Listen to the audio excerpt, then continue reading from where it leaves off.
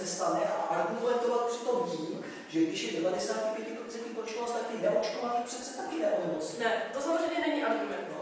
Ale taky hodně záleží na tom, jestli třeba tady jako nebo něco jako v té společnosti a v tom, jaká je kolektivní imunita. E, nejenom očkování ji zaručuje. A nikdo nemůže tvrdit nebo vědět, co se stane, když jenom 30% lidí bude očkování proti obrně nebo proti hubu.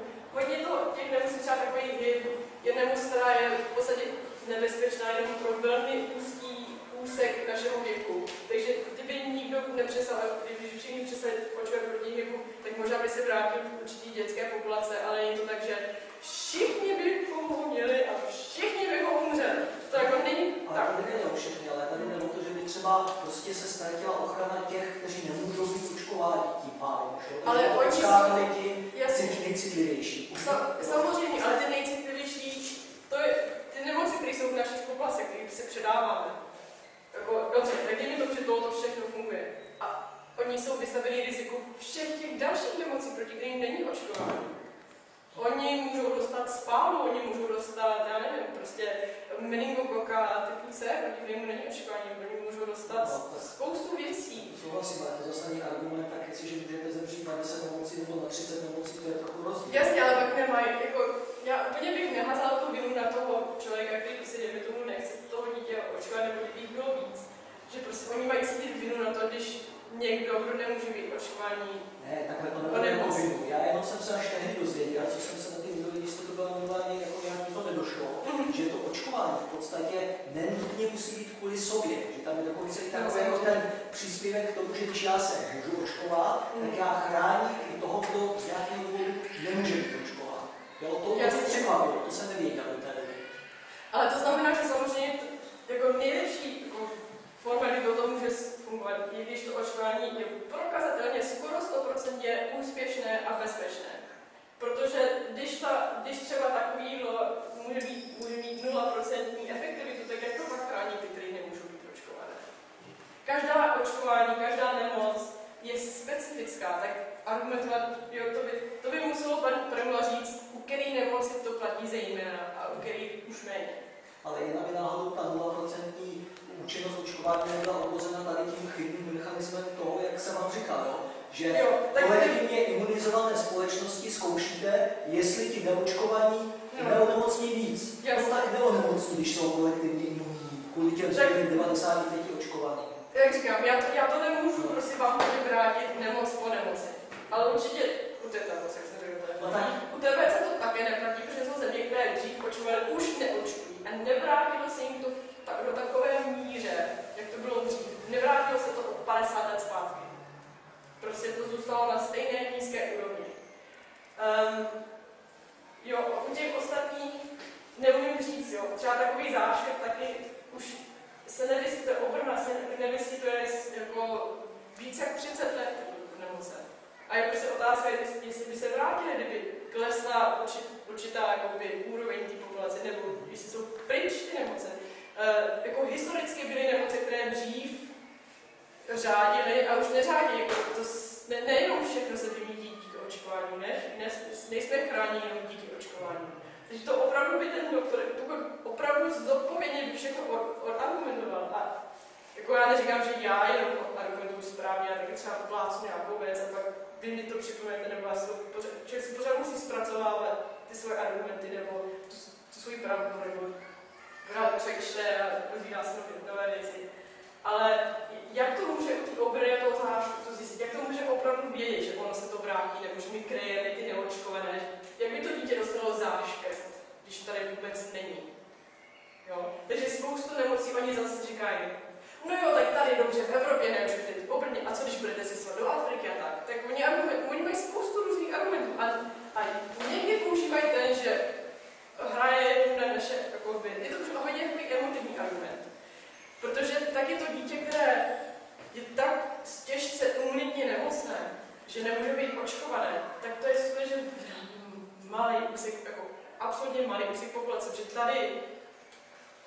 možná dobře, nenutějí do očkování dětí, které se léží po rakovině, ale epileptici se očkují. Tady prostě ta, se, se nutí do očkování spousta lidí, kteří prostě jiný trošku eh, citlivější doktor nebo rodič by opravdu s tím nesouhlasil.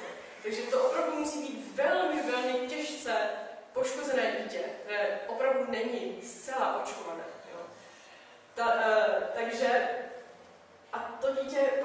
Specifický režim. Třeba nebude do školky, nebo prostě bude prostě potřebovat nějakou péči, jo? Ne, takže to není tak, že v Přerově může být nějaký, nějaká skupina neočkovaných dětí a v Praze to nemocné dítě dostane ty, ten záškrt, že v Přerově je skupina neočkovaných. Ten svět je prostě mnohem komplikovanější, než ho redukovat na to.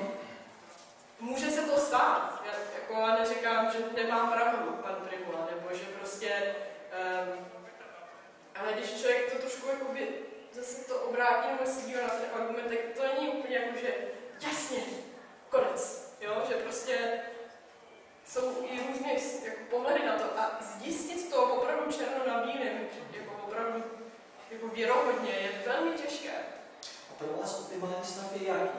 Aby se teoreticky nemusel očkovat nikdo, anebo aby se očkovali jenom ti, kteří jako s tím ne, nemůžou mít pravděpodobně problém a že by se udrželo, řekněme, třeba 30-50% imunity. Jako... Rozhodně uh, my jsme máme opravdu za jako vys. Naši jako stanovy práce je opravdu klíčový, abychom my jako nekecali lidem, co mají dělat s My chceme jenom je informovat, že než jdou, než jdou očkovat, aby věděli, jaké jsou ty nemoce, jaké to očkování má to riziko. To, že já dám na stránky nějaký článek, kde poukazuje na to riziko z toho očkování, neočekávám, že ten člověk řekne, já nedám své dítě očkovat, ale bude vědět, co očekává, bude vědět, co je možné, že ten doktor mu to neřekne. Kdyby tady doktoři říkali, tohle, toto to je bezpečné, ale může se stát bla, bla, bla. A vy máte absolutní svobodu se rozhodnout, tak můžeme to zabalit a být strašně spokojení, jak to krásně nás. My jenom řešíme to, že jsme absolutně proti tomu, aby se, když člověk, já s ním nemusím osobně jako já opravdu nesouhlasit, ale hájím jeho právo se rozhodnout absolutně nerozumně, jo. Abs, jo, prostě někdo opravdu nechce sebe ani své dítě očkovat. Má absolutní právo. Člověk může mu vysvětlit, že dělá blbost, ale nutit ho, jako že člověk bude očkovat tak to mi přijde jako strašně nedůstojné proti jako našim základním invalidním právům. A my, my toho člověka budeme hájit. Ale uh, to je jedna rovina, že prostě opravdu hájíme ten individuální přístup a tu totální svobodu, jak nakládat se svými dětmi a se svým tělem, jak, my si myslíme, že je nejlepší způsob. A další věc jsou jenom ty informace. Tak je dobrý se, my máme rádi takový ty že někdo zvede ruku a pak třeba řekne, no ale teď jste řekl něco, nebo teď jsem slyšel něco, aby lidi věděli, jako, že jsou, všechno má svůj rubalíc. Jsou určitě momenty eh, v naší společnosti, kde očkování bylo strašně nutné, nebo prostě pomohlo, nás posunulo někam dál. Ale vždycky je tam ta rovina té svobody, že prostě i, i, i, i, i při těch nejvě, největších eh, epidemích obrny, kdy prostě ty děti opravdu byly nemocné, tak bych taky hájila to, tu svobodu toho člověka, který řekne, no já vlastně to dítě nechci očkovat. To je prostě jeho rozhodnutí. To jako nemůžeme zase jako lidi nutit do nějakých medicínských úkonů, to je strašně represivní do toho samé. No ale aby ten člověk měl to, ty informace se rozhodnou. My už dále řešíme, jak ten člověk se rozhodl s těma informacemi. Nechceme nutit někoho očkat nebo neočkat, to není náš vůbec úmysl. Ale je strašně málo jako informací o tom očkování, objektivní. Je připravený nějaký zákon k informaci na Slovensku teďka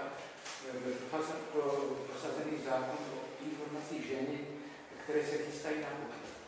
Myslím si, že to je hrozně důležitý zákon.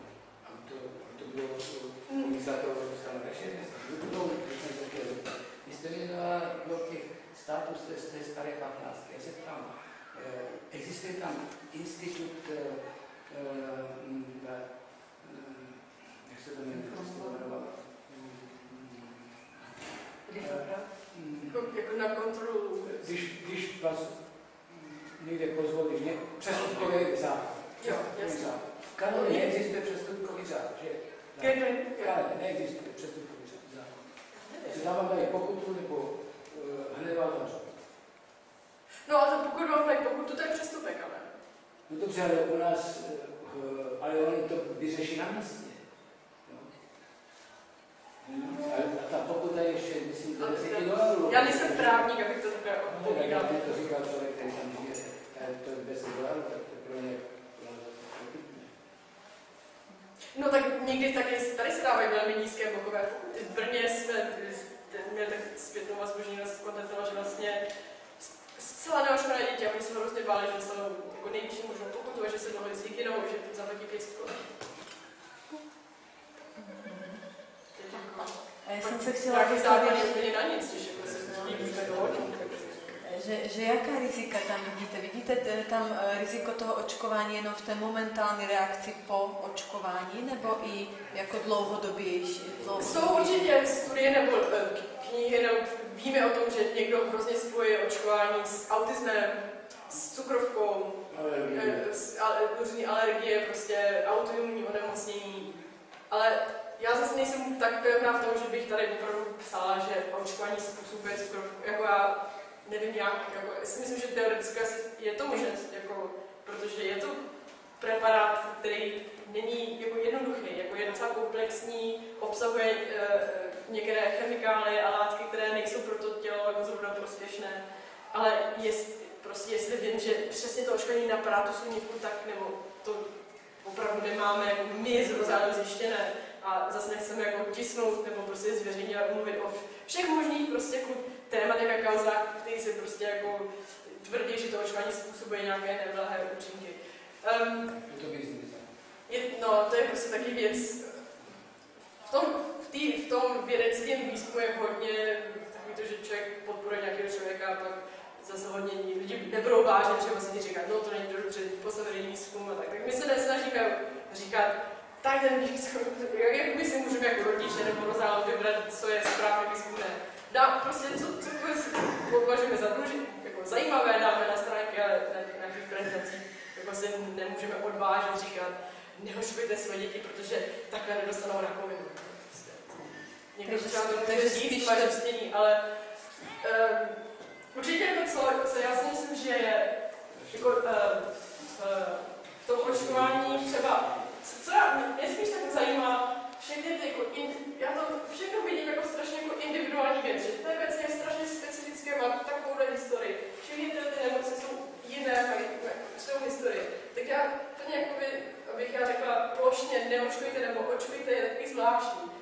Mě, mě zajímá spíš jako probrat ty nemoce a ty od toho očkování zjistit se o tom něco a pak se nějak rozhodnout. A to je strašně jako individuální záležitost. Ale třeba co jako je něco, co jako je, je akceptovaný, pan Primula mi to tady potvrdí, že tady ten HIV, Hemophilus influenza typu B, je jeden z nejnovějších očkování. Je to nemoc, která se přidala asi jako poslední, který se očkuje. Je to bakteriální nemoc a jak, jak víte, ty, no, všichni, především jsme jenom děti, tak děti v určitém momentu v života dostanou zánět středního ucha, nějakou infekci dýchacích cest, nějaký bronchitídy nebo něco takového. Ty, kteří mají opravdu smůlu, dostanou třeba nějakou pneumonii a tak. A to obyčejně způsobuje podle generace je, jedna jakoby, rodina nebo skupina bakterií. V 90, jako na konci 80. a na, na začátku 90. letech to bylo uh, Hemophilus influenza typu B, tady skupiny těch bakterií. A oni měli tu specifiku, že většina dětí dostala zánět střevu ucha způsobené